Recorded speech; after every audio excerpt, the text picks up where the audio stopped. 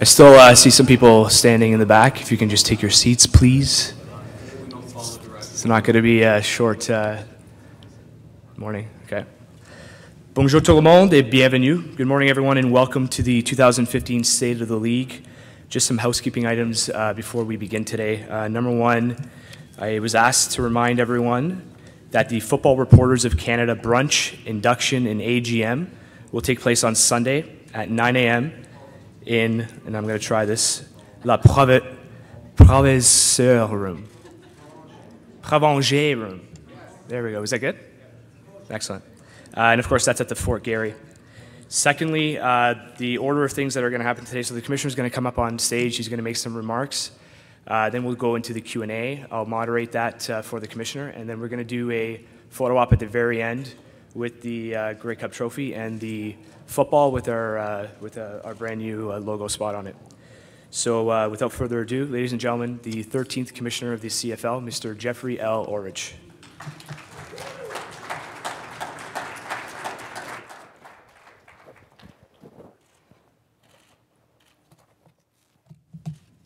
Good morning, everyone. Uh, thanks for joining us here this morning. And thank you for coming to the 103rd Grey Cup presented by Shaw. You tell our stories, you offer your insights, and you really do help us uh, stay in the news and be part of the national conversation as well as the local conversation. This morning, I plan to do three things because I typically do things in threes. Um, I'm going to answer your questions. I'm going to give you an honest assessment of the state of the league. And hopefully, I'm going to make some news by telling you about something new that we're launching. So, actually, I'd like to start with that. As you know, this is a year of transition for our league and, and for me personally. Uh, this is my first Grey Cup as commissioner. And working with the support of our Board of Governors, I'm bringing some new ideas and some new approaches to the league. I believe this is also the start of a transformation. I will continue to celebrate what is great about this league our authenticity, our character, our uniqueness.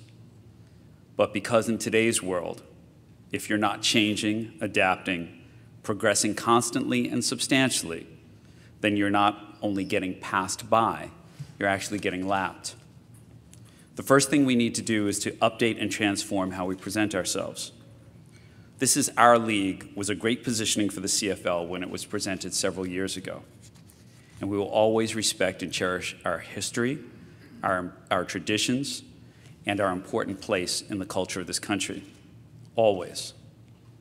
But today's CFL is made of so much more. We have world class athletes doing amazing things. Our games are fun and exciting and social, the place to be on many nights in many of our cities. We play now in new and newly renovated venues, delivering great value through wraparound experiences that are fun, affordable, and accessible. And we're exploring and even inventing new ways for fans to engage with our brand and each other. So the time has come for a new brand positioning, a new tagline, and even a new logo. It's all captured in this brand new video. So let's take a look.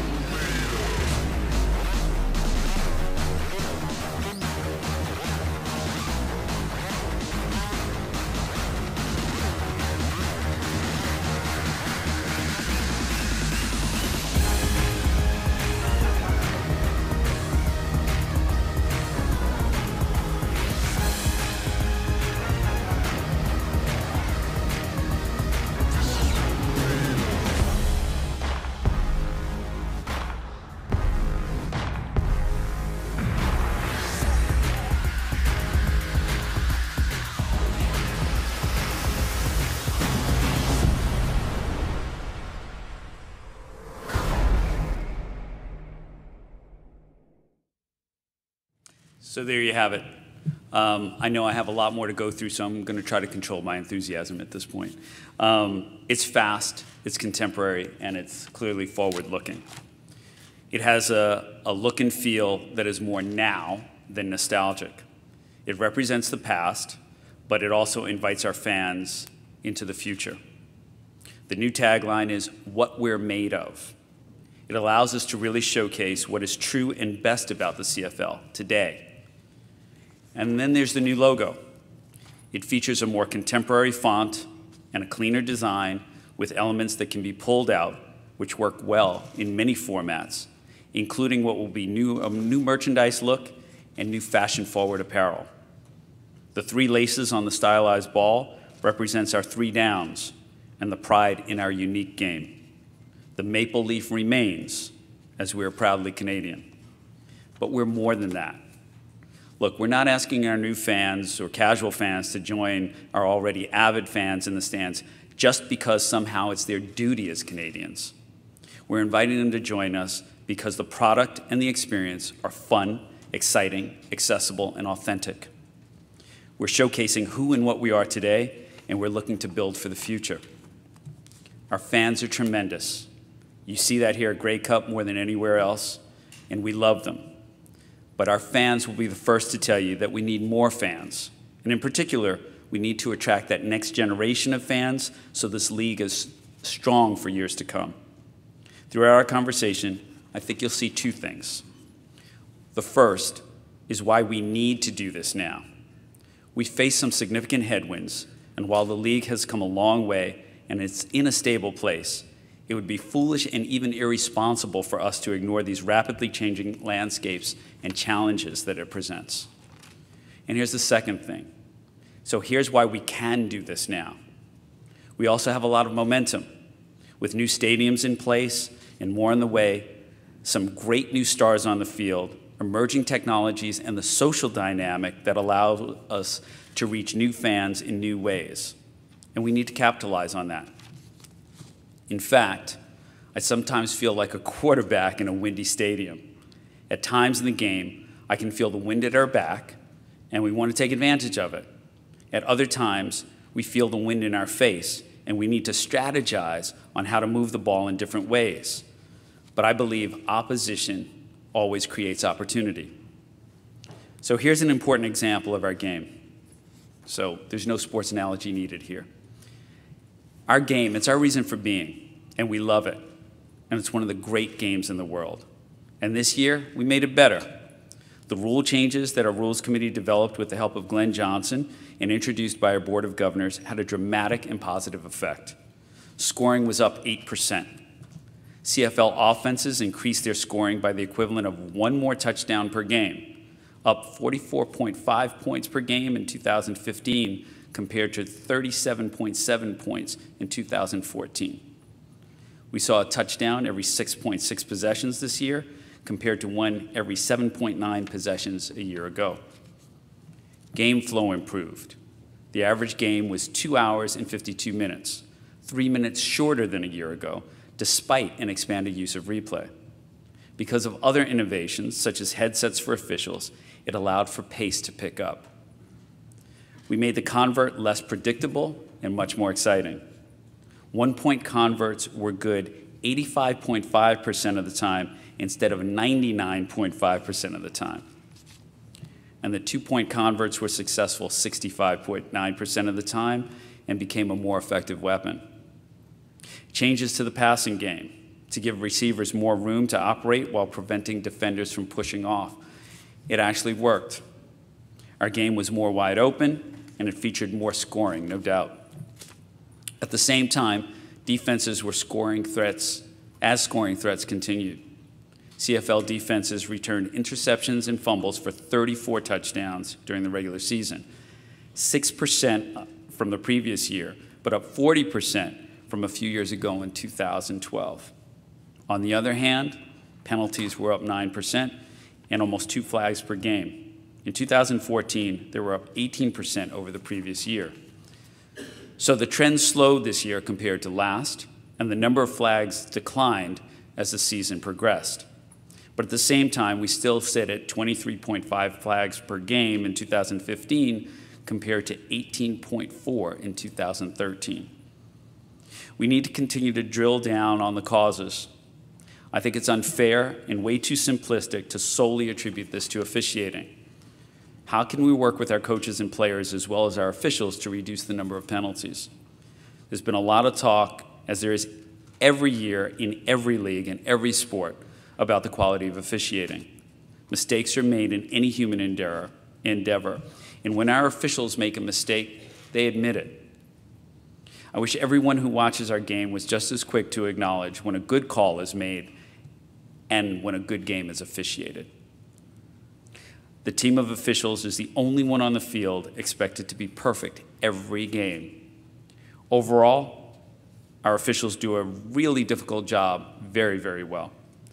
But I say to them, and I say to you, our best can always get better, and we'll always work to get better. In particular, our Rules Committee will examine in the off-season whether an expanded use of replay in some circumstances can help to ensure that we get it right, especially on big plays, without unduly slowing down the game. I believe the most significant challenge facing our product was injuries to quarterbacks. Seven of nine CFL clubs lost their starting quarterback and sometimes their top two quarterbacks for significant periods of time. Only Henry Burris in Ottawa, incredibly the oldest quarterback in the league, made all 18 regular season starts, with the asterisk that Calgary's Bo Levi Mitchell was rested in their final game. So maybe Bo would have qualified for that as well. But you get the point, right? Our teams used 28 different starting quarterbacks this year a CFL record, at least for the vast majority of the league's history, operating as an eight or nine team entity. So a record 11 quarterbacks made their debut as a starter. Injuries are part of any sport, but this was clearly an extreme case. The truth is, this affected teams' ability to perform at their best, and so it did affect our product. In games where a club had their number one quarterback available, teams went 58 and 35 in games where clubs turned to their backup quarterback to start or went deeper down on the depth chart, the teams went 23 and 46. When you consider how rule changes opened up the game for offenses and scoring went up, imagine the fireworks that we might have seen if those offenses had have, have had their best fire starters behind the center. But it was just one of those years, extremely rare years for quarterback injuries. But maybe there are some underlying issues. We're going to examine that. And while we have done much to protect quarterbacks, you can't hit a quarterback passing when high or low, for example. You can't hit a quarterback when they're sliding. Is there even more that we can do? I plan to sit down with our teams, our football leaders in the offseason, and really examine this issue. That being said, there really didn't seem to be a pattern of injuries, a pattern to these injuries. In the case of Darian Durant, there wasn't even contact on the injury that put him out for the season. But we owe it to our fans, our players, and our product to take a careful look at this. We also saw both tailwinds and headwinds at the same time when it comes to attendance. We saw sellouts in places like Hamilton and Ottawa, and it's a very positive momentum given that a few years ago there was even talk about the CFL's relevance in Ontario. But we saw experienced and we saw and experienced fluctuation in some softness in other markets, and overall our attendance was flat, and it has been flat for the past several years. This is one reason why we want to show what a great time a CFL game is and why we're looking forward to new venues in Saskatchewan and Calgary and in addition to the ones we've opened in other cities, including here in Winnipeg. It's also why our teams are working to deliver the very best game experiences for our fans and to connect with those fans between games. Outside the stadium, according to some measurements, we experienced a 15% drop in our television ratings. It's my belief that this was the result of a perfect storm. Now, television is down across many properties as the industry undergoes massive changes in the digital age. but we faced unprecedented competition from the Pan Am Games in Canada, the FIFA Women's World Cup in Canada, the Blue Jays surge, which captured much of Canada's attention, and forced the displacement of, of our team in the biggest market in Canada. And teams in some of our strongest TV markets, Saskatchewan and Manitoba, had very tough seasons on the field. Given all that, I believe the fact that an average of 589,000 fans watched each and every of our regular season games speaks to the strength and the resilience of the CFL on TSN and RDS, and the quality work our broadcasters do week in and week out. Still, it would be irresponsible if we didn't take this seriously. I know we do, and so does TSN and RDS. We need to continue to elevate our brand and make change that will ultimately transform our league, and it will be reflected by positive ratings. One of the things that we did this year is we experimented with Thursday night games, and it was very successful. And some of our highest rated games were on Thursdays. It's this type of innovative thinking, adjusting to the marketplace, taking some informed chances that will help to continue to transform our league. It's something we can build on next year.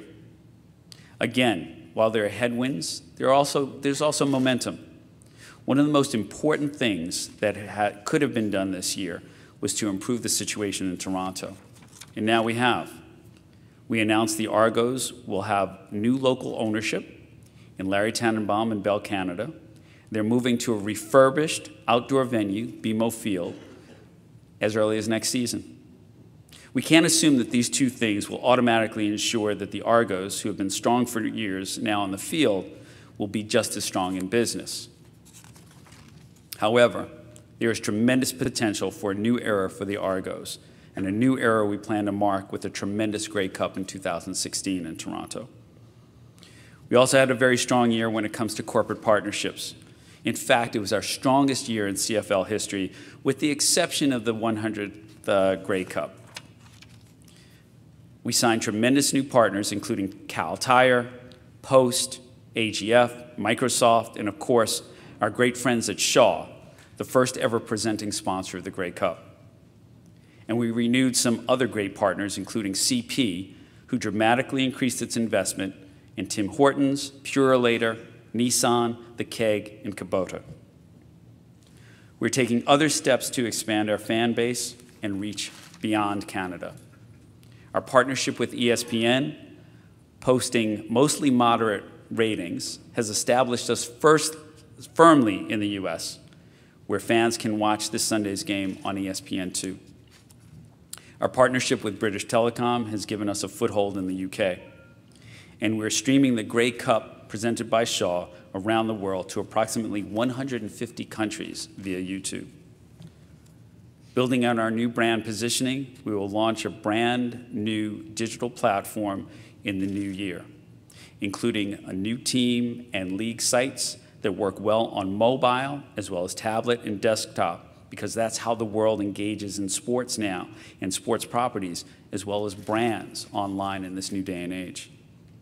We're very excited about our move to Adidas as our official apparel company, and the new uniforms will be introduced in 2016. And there will be more to come, much more to come. I spent my first season this year watching, listening, learning, and doing and I look forward to engaging our Board of Governors on a new strategic plan in the year ahead. I'm enormously proud of what we, under the banner of the CFL community, do. This year, the CFL, its teams, and its athletes contributed times and millions of dollars to amateur football across the country, worked with Football Canada to certify minor football coaches in safe contact blocking and tackling techniques, participated in the Purolator Tackle Hunger, which collected more than 700,000 pounds of food for Canadian food banks. Encouraged by Fairness for Gay Athletes through our partnership with You Can Play, taught youth about active and healthy living by supporting the BOX program, raised funds and awareness for women's cancers through CFL Pink, and helped to support high school football through the Nissan Kickoff Project just to name a few initiatives. We also announced a comprehensive league-wide policy on violence against women, which is an important step forward. Thank you for your patience during this rather lengthy presentation, but I wanted to be as fulsome and transparent as possible and to be honest with you about our headwinds that we currently face, as well as confirm our stable foundation and our forward momentum. On a final note, I'm really looking forward to the 103rd Grey Cup presented by Shaw and want to thank everybody associated with the game and this wonderful festival that we're enjoying here in Winnipeg. We have so much to look forward to at the CFL. Transitions and transformations are not always smooth, but a vibration and a bit of turbulence is something that you go through at times when you're actually gaining altitude. And I have every confidence that the CFL is going to achieve greater heights in the years to come. Thank you very much, and I really look forward to your questions.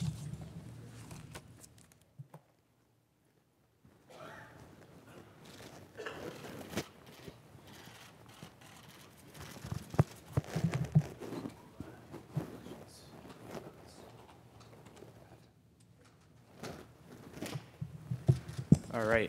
Thank you very much. Uh, Garrett, where are you? Right here? Okay, and then who's the other one? Trevor? Lucas. Okay, great.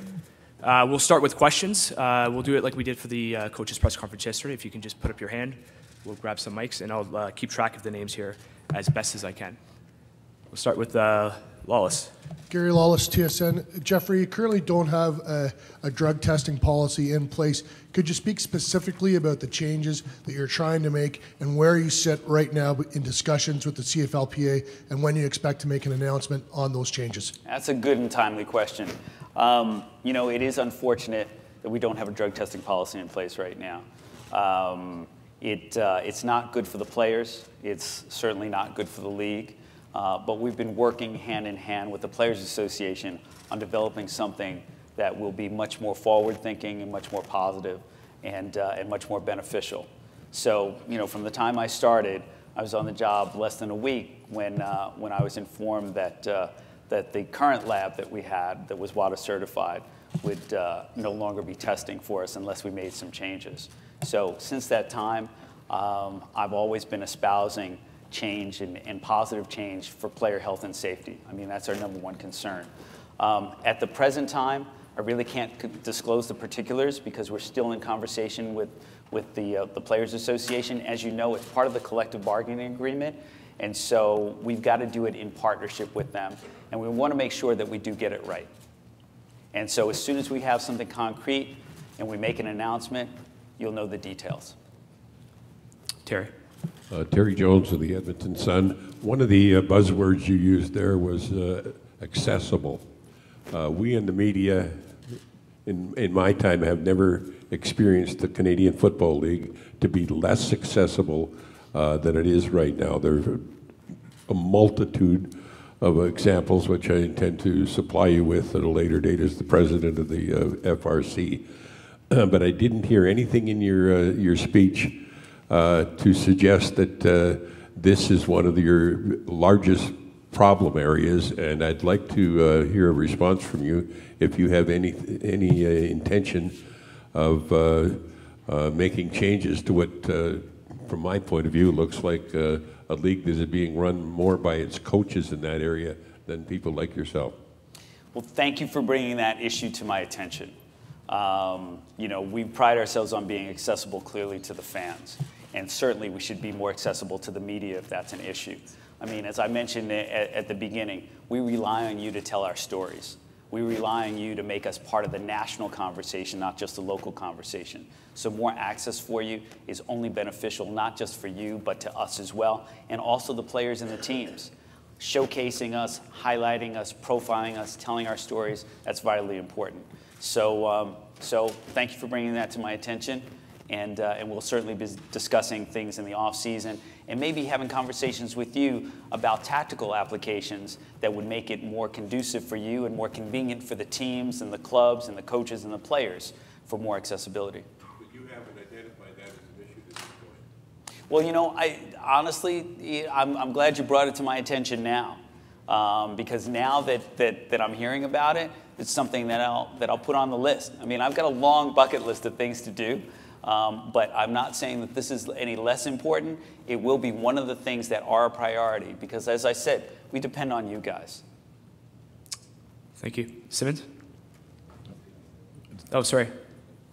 Dave Naylor, TSN. Um, Commissioner, what is the league's view on the possibility of one team wanting to hire a coach who is under contract to another team and add to his title? Say a team would hire a coach, try to hire a coach, and make him their head coach and assistant GM, even though that coach is under contract to another team. What is the etiquette that the league considers appropriate? Well, I think generally speaking, and, and I think this is kind of the culture of the sport, where you, uh, you give a courtesy call to the team that, that, you're, uh, that you're going to, to address. Uh, and you let them know, and you have that conversation. And I think it's really about conversation and dialogue, and it's about interpersonal interaction. And I think that's where, um, you know, that's where the successes are. When you have those kinds of conversations up front, you're honest, you're open. Um, but I think that's part of the, the general culture of sport, you know, that kind of professional courtesy that you extend. So do teams have then the right to block such moves?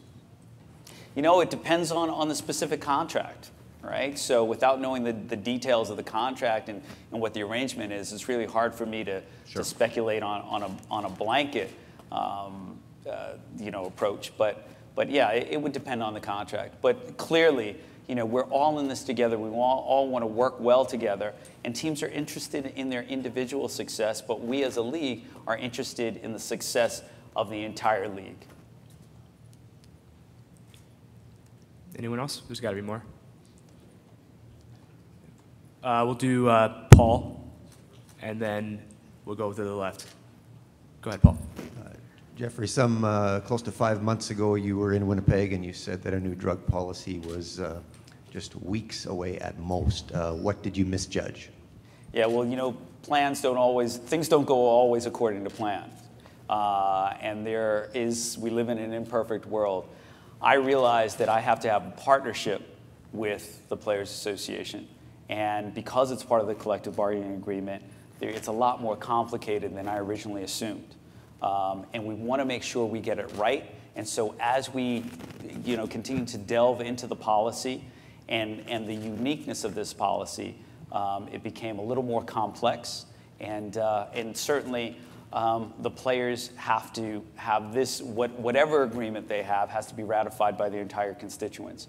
And they only meet twice a year, and, and this is one of the times when, when they meet. So How much is the Players Association resisting change? well, I don't think they're resisting change. I, I think they're, that they're very concerned about making sure that it's equitable and it's fair and it's reasonable and it's right. And it's not just right for today, but it's right in years to come because we don't want to have to revisit this kind of situation year in and year out. So we want to make sure we get it right and it's for the long term. But you know, both of us have, have a shared interest in player health and safety, and that's one of the things that's paramount for both the Players Association and the league. Andrew? Commissioner Andrew Bucholtz from Yahoo Sports. Uh, do you have an update on the concussion litigation against this league?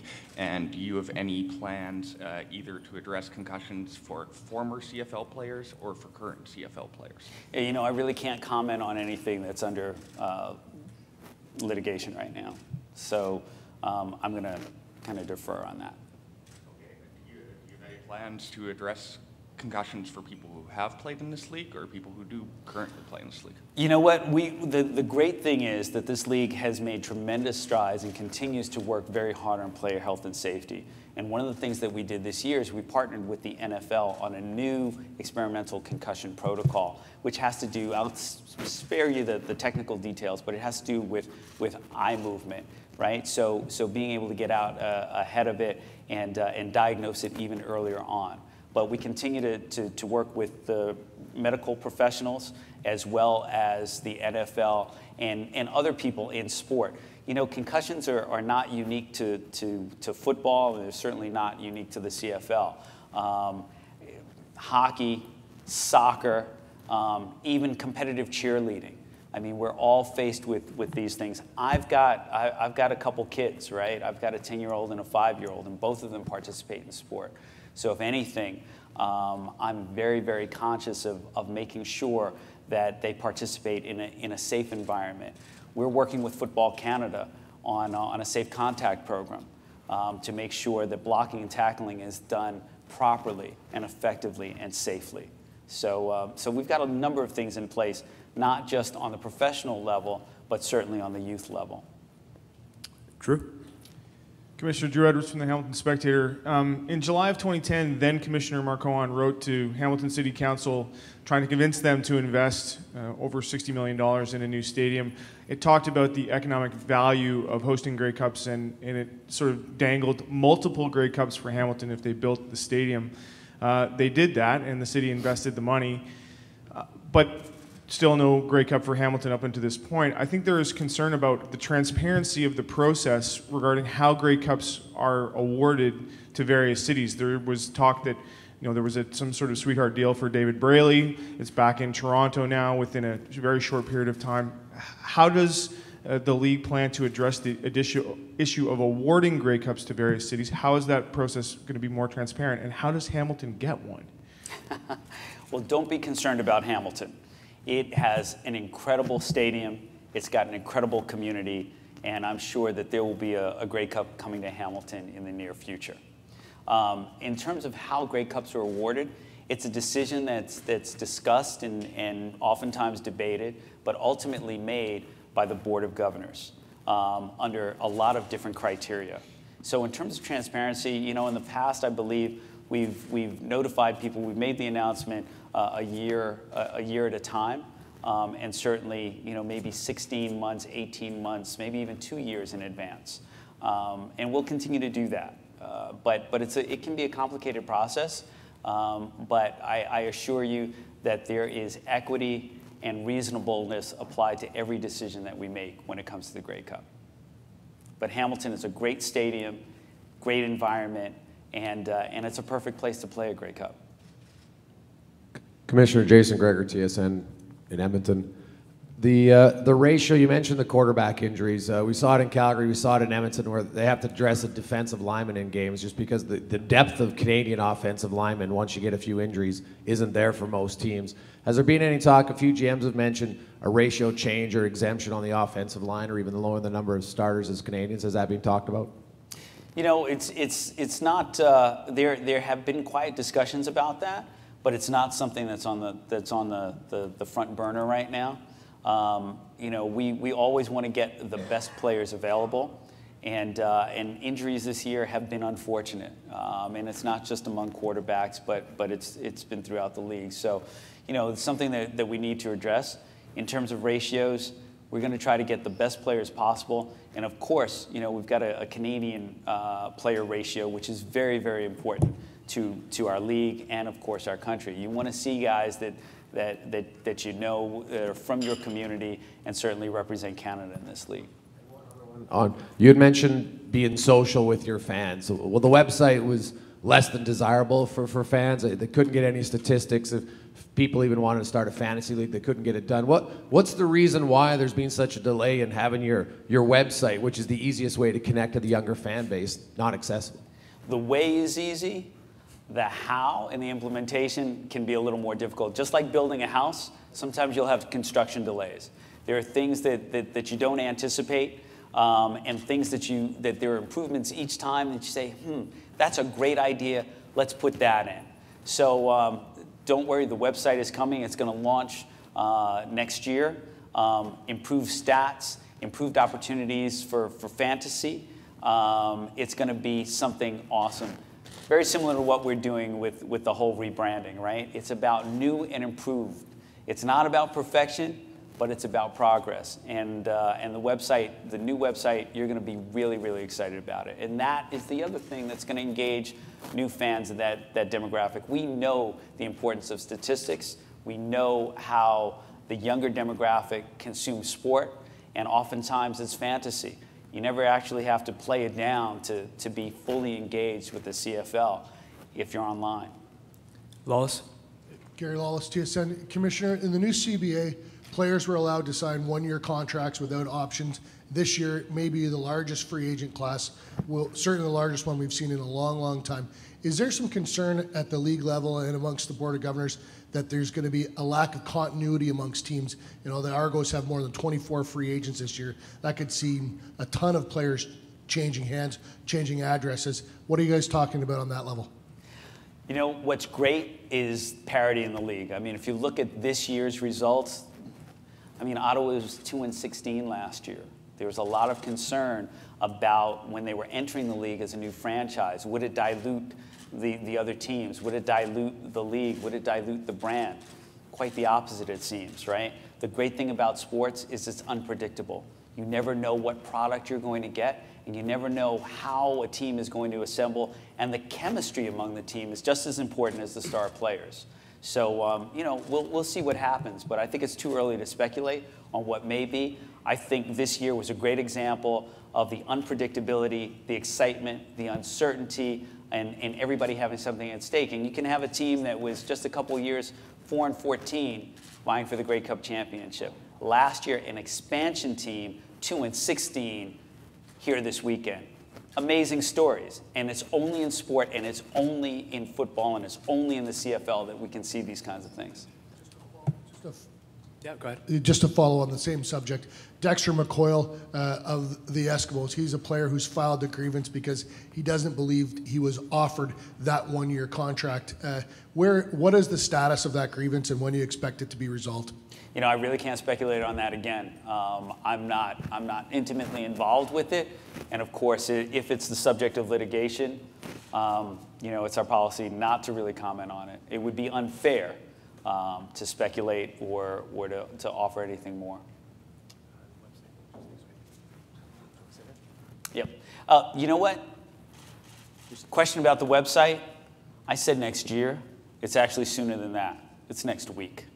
Um, and you're right, there have been delays, but we want to make sure we get it right. And when you see it, you'll be really glad we waited to have the product that we do now. It's going to be awesome. Back, back there. Farhan Lalji from TSN. You've been asked a couple of times about the drug policy, and you mentioned the players only meet a couple of times a year. They're meeting now. Is there a proposal before them right now, a working document? And regardless, you've said you want to get it right, but is there a time frame, a target for when you want to get this done? I want to get it done as soon as possible, and I take responsibility for ultimately getting it done. Um, we're working with the Players Association. There is a proposal in front of them right now. I'm sure they've been discussing it. Um, and I'm sure they're going to respond, they'll get back to me as soon as possible. But I, I think, you know, there's a whole issue of, uh, of making sure that, uh, that we do the best we can for the players, with the players. And I think, you know, it's unfortunate that we don't have a drug policy in place right now, but we're working towards making it better, right? Our best can always be better. We're always looking for ways to improve things, and particularly when it comes to, to players and their health and safety. And, and the drug policy is one of those things, right? We want to make sure that the people who are competing actually deserve the right to compete um, and they're competing in the right way.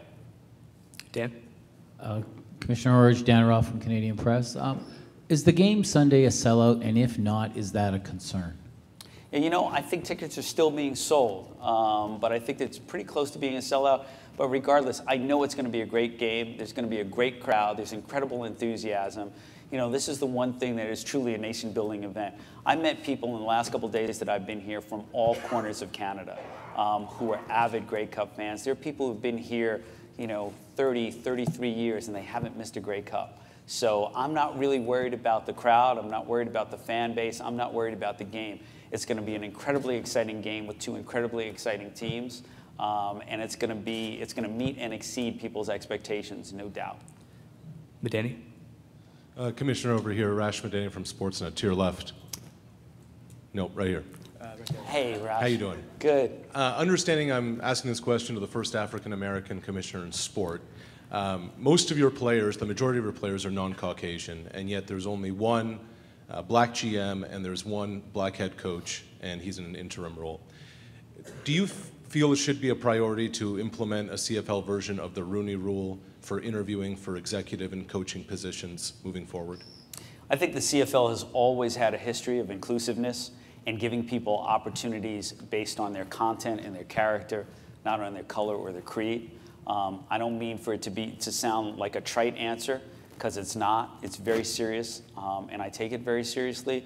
But you know, once again, If you're qualified in this league, you'll get an opportunity. And I think you'll see that more and more. Um, there are people who are being groomed as we speak right now. There are people who are being sourced. I mean, I, the best thing that we can possibly do, that any employer can do, is to, to be able to source from the broadest pool possible of the best talent possible.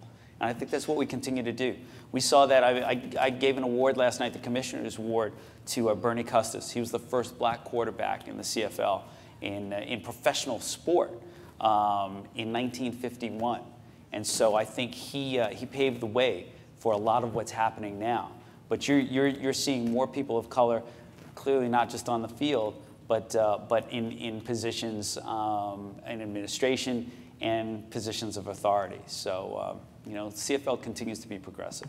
Would you want to see some kind of a Rooney rule in place where there has to be at least one minority candidate interviewed for a, for a coaching or a management role?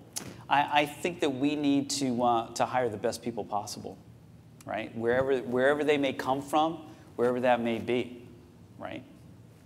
Friesen?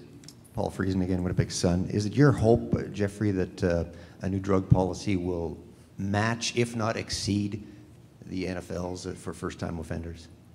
You know, I think that we need to be conscious and cognizant of the fact that we need to do what's right for us, for our league, right? The NFL is a, is a completely different league. They operate very differently than we do. So we have to do what's, what's appropriate for us.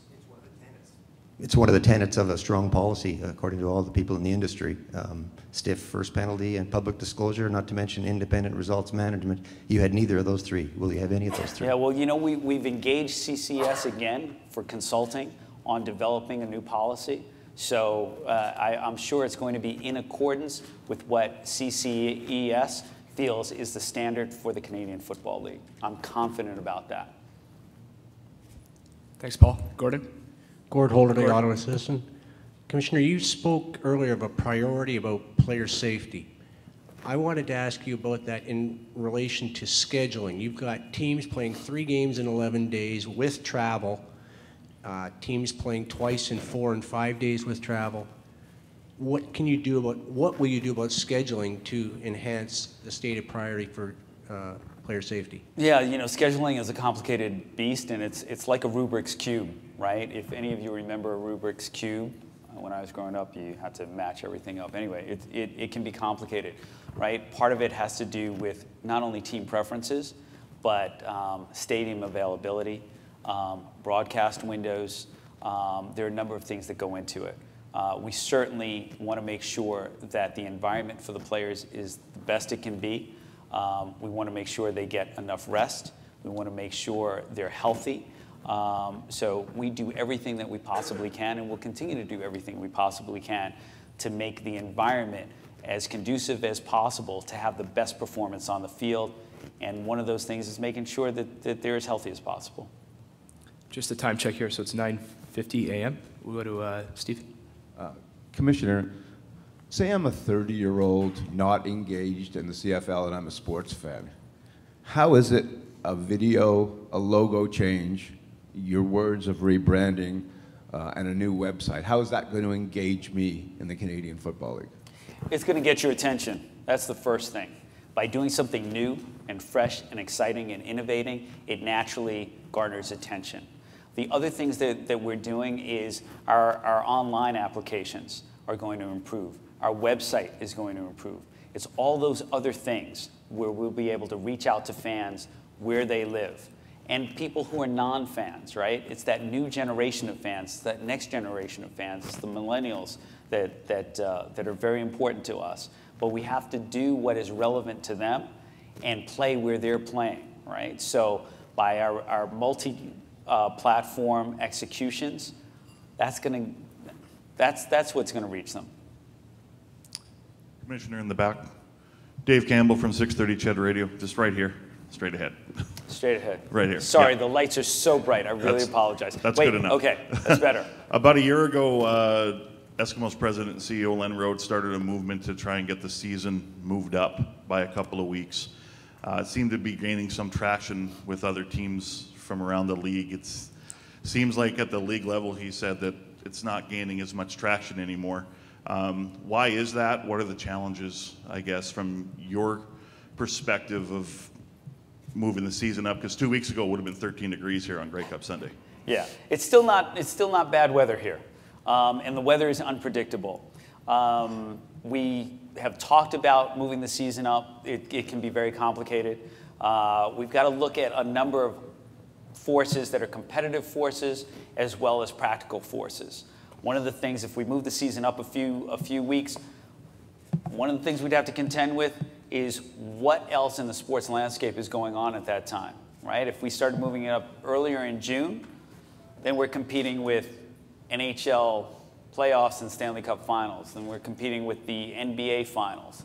Um, baseball is, is in progress. So the competitive landscape can be very different.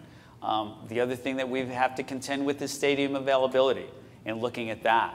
Um, we have to look at our fan base and where do people where are people um, available? And, and, and what time are they available? If we move it up too early in the season kids are still in school if we have weeknight games. So it's, it's all, all of those things that we take in, into consideration when we're evaluating what the schedule will be whether it's a week moved up or two weeks or, or where it is. But it, it's once again as i mentioned before it's really very complicated but we take it very seriously and we have a bunch of different analytical measurements um, that, that we utilize to make sure that we have the best schedule available and also to the earlier point that the athletes are best prepared to perform at their highest level.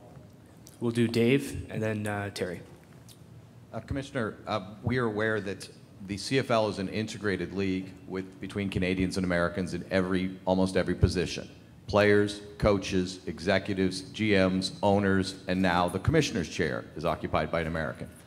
The only role in the Canadian Football League that is not integrated is officiating. It is all Canadian, which creates an issue of depth uh, beyond the officials you have. Uh, a lot of people in your league talk about wanting to hire and train U.S. officials from border cities to work CFL games to give you more depth. Is that something that you think is worth considering? So I think there are two points you made. Integration is a very good point and a very good example, and I am the living, breathing example of integration, gentlemen. Um, I am both an American by birth, but I'm a Canadian by choice, right? So I've got the dual citizenship. The second thing is, um, in terms of, of officiating and expanding our, our, our depth, um, absolutely. We are having conversations constantly with, with CIS, and uh, in, in amateur football about cultivating talent here and expanding that pool and getting more people interested in officiating. The other thing is, candidly, we've had conversations with the NFL about officiating and what kind of uh, exchange of knowledge we can have with them in terms of improving our product. But we're always looking to improve. We're always looking to get better. Nothing is perfect. And certainly in officiating, it is the hardest job in all of sport. They're expected to be perfect every single game, every single play. I don't think anybody among us, I'm sure any of us can attest to the fact that we've made a mistake in our careers, right? As journalists, as administrators, as executives. So it's a really difficult job, but, but always looking for ways to improve and, and always looking to tap into knowledge bases elsewhere and always looking to mentor and cultivate um, and grow um, every aspect of our game, not only players, but officials as well. Do you like the idea of hiring Americans? I like the idea of being able to get the best talent possible. Terry? And, you know, one thing is understanding that our game has different rules and different regulations. Um, and it's a different field. So there are always adjustments that have to be made. But I understand that um, in the past, there have been officials who've come up from the South and participated here. So I don't see anything wrong with that. Go ahead, Terry. Yes, uh, I would like to go back to the uh, to the moving the schedule ahead up issue, and, and, this is almost a confirm or deny question. But uh, is it not true that uh, your rights holder uh, TSN essentially vetoed that idea? No, that's not true. They didn't veto the idea. You know what? TSN has been an incredible partner, and they are willing to work with us on whatever accommodations we need to make the game better and to make improvement on the game. Kurt. Just as a follow-up to uh, Dave's question there about the officiating, can you put more money into it anyhow? Will that at all help solve? I'm assuming, would you admit fairly or unfairly that the image of the league took a hit a bit this year with the officiating? I would, uh, I would think that money is not the solution. I would, I would posit the fact that um, we need to think about all the other things that go into um, human error and utilizing other things um, to help solve and, and mitigate human error. And whether that's expanded use of replays, um, where and when appropriate, um, whether that's better methods of communication on the field.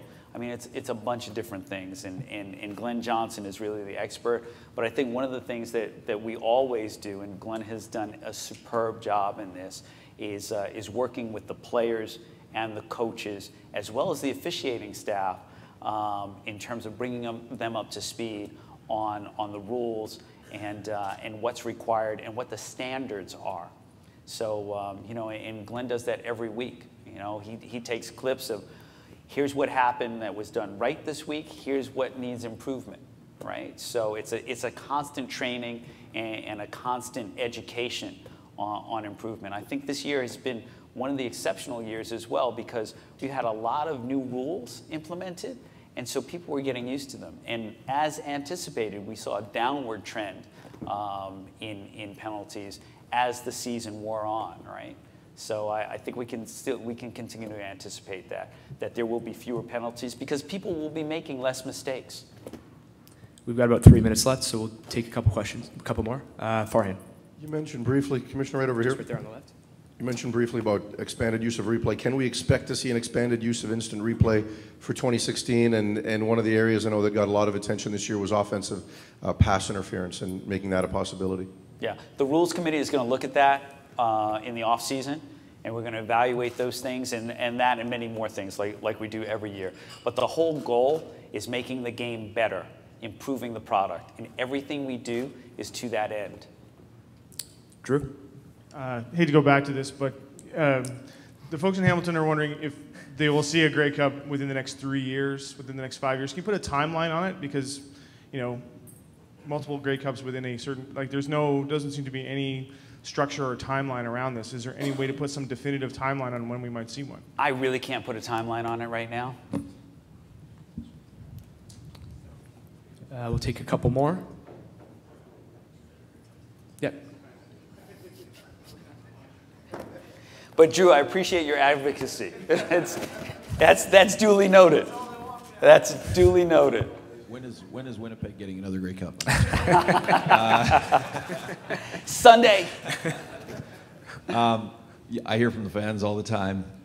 Some people here in Winnipeg were noting and questioning that their Grey Cup ticket was more than their season ticket. Do you think the pricing of the Grey Cup is an issue that you might want to look at, or do you not think it's a problem? You know, I really can't speculate on, on what the right, right price for, for a ticket is. I know this is a very special event. I know it's, you know, for some people it's a once in a lifetime event. Um, I think that uh, by, the, by the crowd, by the energy, by the enthusiasm that's been garnered and, and generated since I've been here, um, you know, I think we'll have a good crowd. And, and I think, you know, the great thing is that that the, the game is, uh, is accessible not only in the stadium, but, uh, but our, our partners at TSN and RDS. If you're in the States, you can watch it on ESPN. And for the first time ever, via YouTube, 150 other countries will be able to, to watch the Grey Cup. And that includes our, our armed forces bases around the world. So we're excited about that. Last two, right there, please. Uh, Jeffrey, regarding scheduling, how much would you like to avoid NFL Sundays in the fall? How big of a threat is the National Football League to your target demographic? And the Seahawks are marketing aggressively in Vancouver. Does that bother you? Are they a partner or are they a yeah. opposition? You know, last week, uh, Ottawa and Hamilton, there was about 2 million people tuned in, 1.8. At, the height of the game, yeah. At the height of the game, 1.8 1.8 million people tuned in. Um, the game after that, with, uh, with Edmonton and Calgary. 2.1. We had 2.1. 2.1 million people. That was played on Sunday. There are a slate of NFL games being played that same day. Um, I'm very happy about those results. Um, I think that if you're a football fan, um, the CFL and the NFL are complementary to each other. I really do believe that we're not in competition. We're, we're, we're, we're more um, in concert with each other because we offer two different types of game, but games, but we're all in, in the game of football. And people will have a preference for the NFL or they'll have a preference for the CFL. But I got to tell you that the CFL is the most exciting football that I've experienced. I mean, we've got people in motion all the time. Um, the parity in the league, the unpredictability of the outcomes. Um, I'd stack that up against any other entertainment property in the world right now. Last one.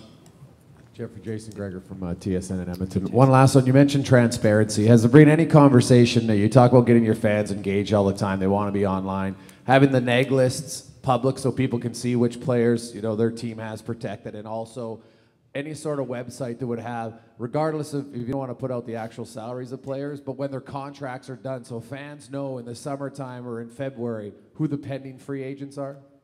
You know, it's interesting because um, I don't think any professional league officially publishes salaries and officially publishes details of the contracts. They are leaked, um, they are planted.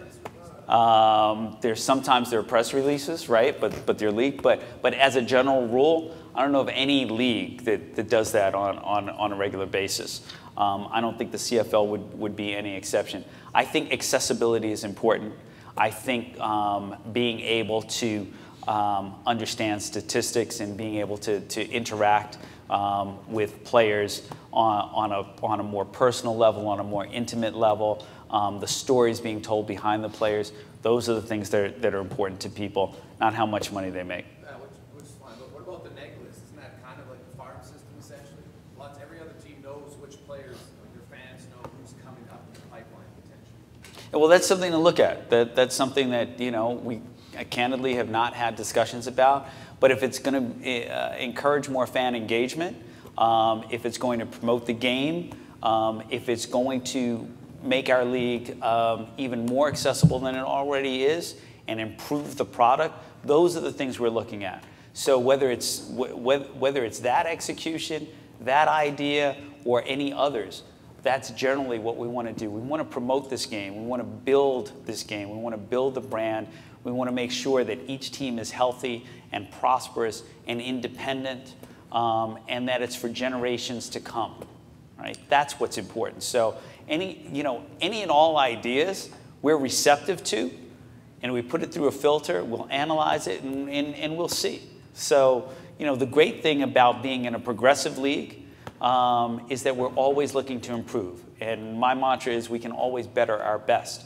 And do we live in an imperfect world? Absolutely. And are we imperfect? Yes. And are we always looking for opportunities to get better? Of course. But it's about progress, not perfection. All right. Thank you very much. Uh, so we're going to do the photo op here at the front. And then one final comment. I have, uh, I have uh, 60 toques to give away, but I'm only going to give to the people who ask good questions. So it'll be on the left. And if I can just ask uh, Lucas and Claire, uh, there's a box there after at the very end before you, uh, you leave. So Before photo op here at the front. Be, be, before you guys go, just really one quick note.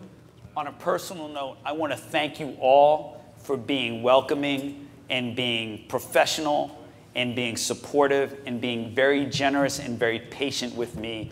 I've been in this role six months, um, and it's a huge job, and I'm very honored and very humbled by it.